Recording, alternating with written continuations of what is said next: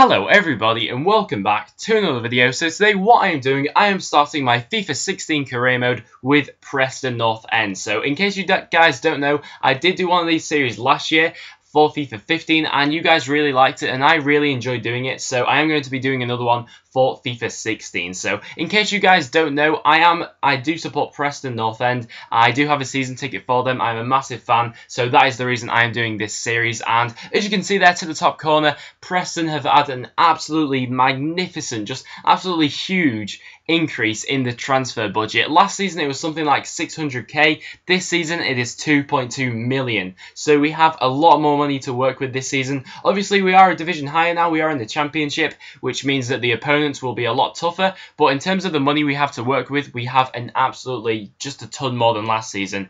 And I definitely want you guys to recommend players you think I should be signing in the comments down below. I want this to be a very interactive series with you guys. So in terms of the difficulty, last season I did do it on on, or I should say last game, last year even, on FIFA 15, I did do all my career mode on either world class or legendary, but I am going to be dropping that down to professional for this until I get used to the game. So obviously a new feature that EA have added this season has been pre-season tournaments. So here were the offers I was presented with for where I should do my preseason tournament. And honestly, I was absolutely astounded by the prizes on offer for these preseason tournaments. Two of them there offering over 2 million, which is just absolutely phenomenal. That will more than double our current transfer budget, which would be absolutely huge. Maybe we could go out and splash it all, you know, all all four million if we manage to win the uh, the trophy. All four million on a big superstar player for coming in for Preston North End, obviously superstar for the championship. So the one I decided to accept in the end is the one I'm hovering over them at the moment,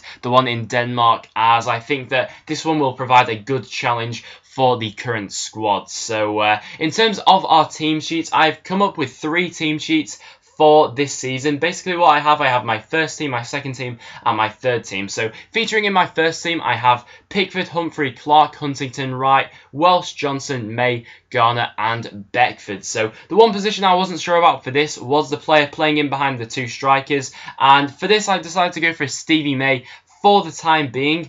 And, you know, uh, it's between him and Gallagher, really, as to who should get that position. Leave it in the comments down below who you think should play in that position in the first team. Should it be Stevie May or should it be Paul, Paul Gallagher? As they're two different players, but both capable of playing there, and two very talented players, of course. Stevie May rated 68 this year, Paul Gallagher rated 66. And obviously, we do have an injury there for Bailey Wright. It's not a serious one, but uh, he will be out of the squad for the current preseason fixtures. Then into my second team, I decided to go for a 4-3-3 formation, still keeping Pickford in net. I've got a four at the back of Woods, Clarke, Huntington and Cunningham, a midfield three of Browne, Kilkenny and Johnson, and then a forward three of Doyle, Keane and Gallagher. So I decided, decided to fit Gallagher into this team. And then in terms of my third team, I have Kirkland, Woods, Clarke, Heaton, Anderton, Vermijl, Brownhill, Browne, Reid, Hugill, and Little. So, as you can see there, I do have three teams, and for the preseason tournament,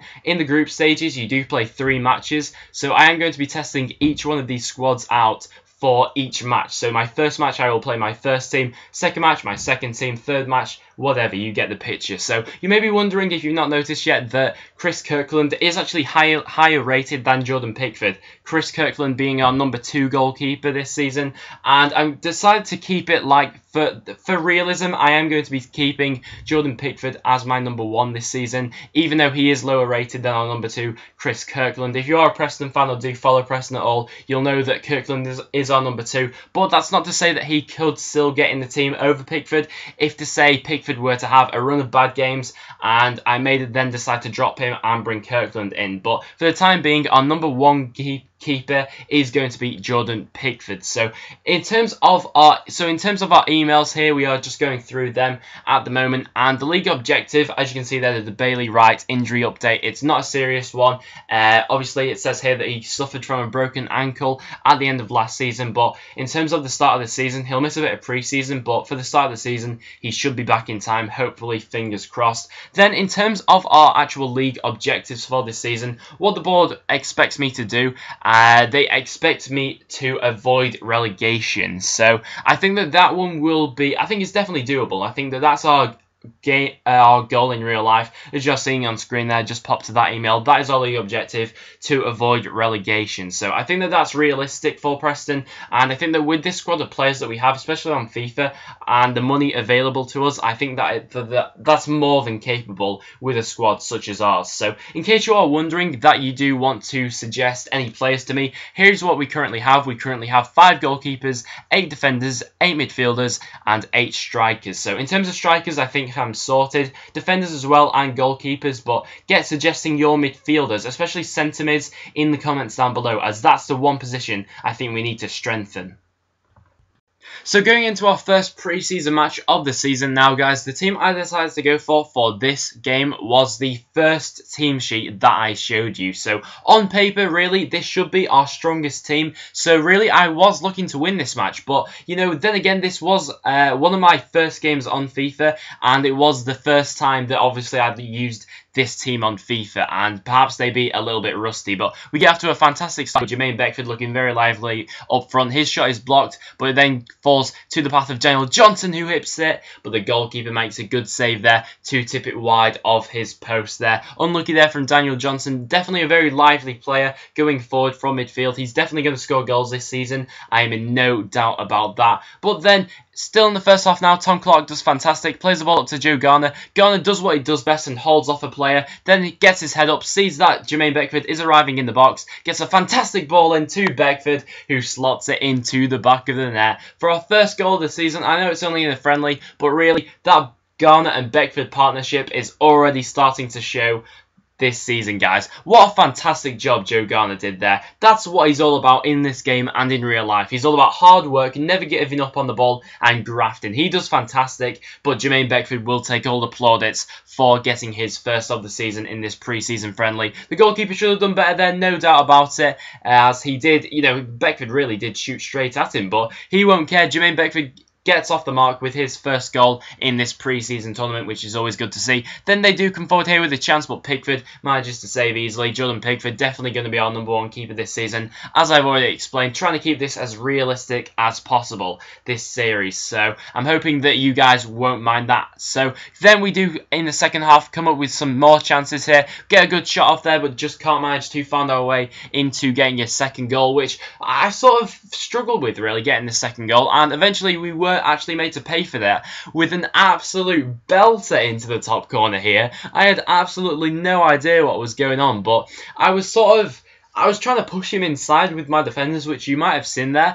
And honestly, because I didn't, I thought that Pickford would have had a would have had his near post cleared. Poor slide tackle there from I think was that Paul Huntington. It might have been, uh, it might not have been, but uh, yeah, he just nothing I can do about that. And he just puts it in the upper Benjamins in the top corner, as Spencer FC would say. And honestly, nothing we can do about that. It was just a fantastic goal, and we obviously tried to pick ourselves up from there. But honestly, we just couldn't manage to do it. We couldn't manage managed to find that second goal. And I've heard that a lot of people this season have been struggling on FIFA to score many goals, especially early on, which uh, I think I'll get used to the game. But it did actually finish 1-1, which, considering we did have our strongest team playing, was a bit, little bit disappointing. But at the same time, you know, I was experimenting with things. I did bring on a lot of substitutes in the second half. I brought on players like Will Keane, Eoin Doyle, Neil Kilkenny, Paul Gallagher, stuff like that. But uh, Jermaine Beckford there, as you can see, two shots, one goals. I do like this feature about FIFA. After the match, they zoom in on the uh, the star player, and obviously us being Jermaine Beckford there. So we were unlucky a little bit,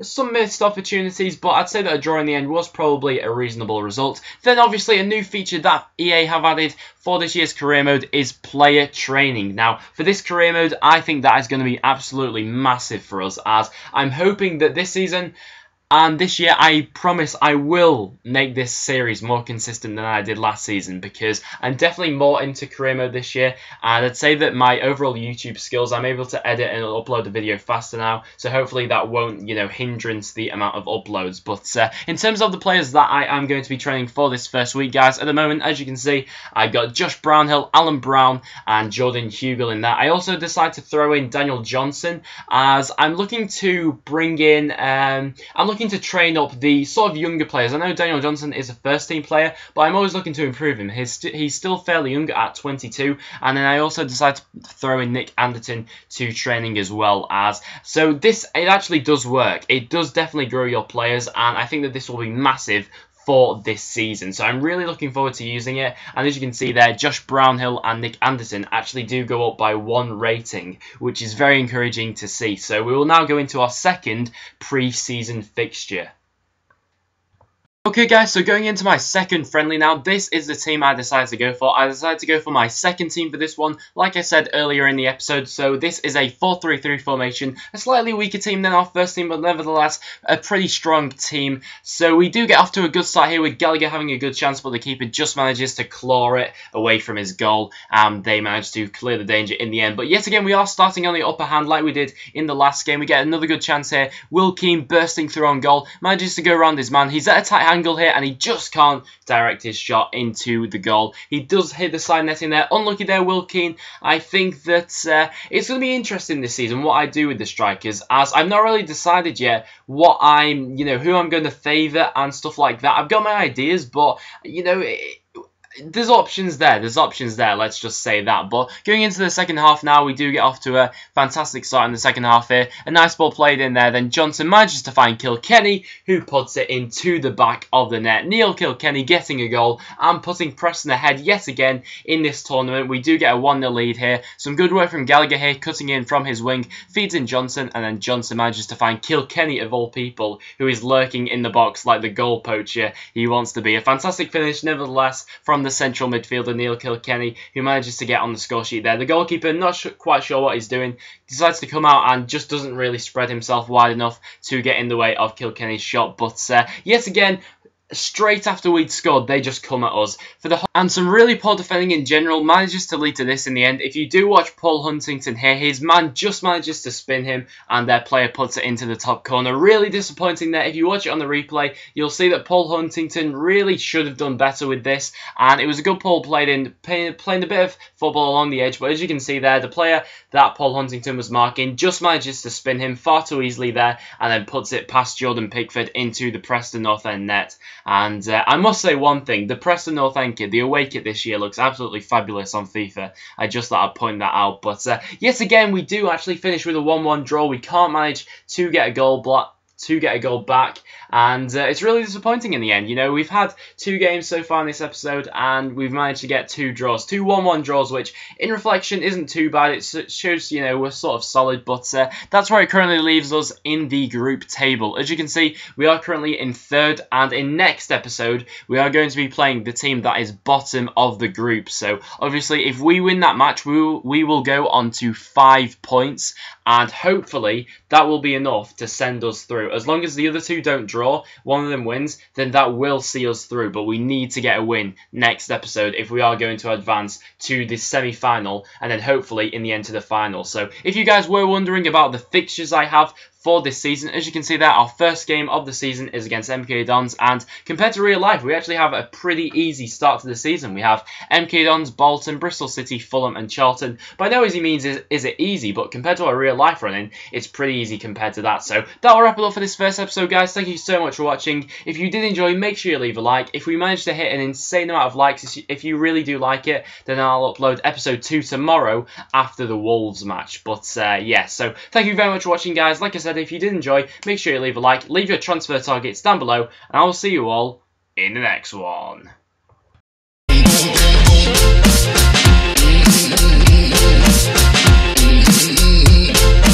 Now, here comes the music. Boom, boom, boom, boom. I'll shoot you right down. Boom, boom, boom, boom.